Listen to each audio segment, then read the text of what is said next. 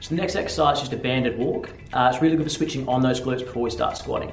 A lot of the time in the clinic we see people whose glutes aren't firing as well as they should be, and so things like a lower back and hamstrings are taking over. So this is an easy one you can do to get those glutes firing, help you lift more in your squat.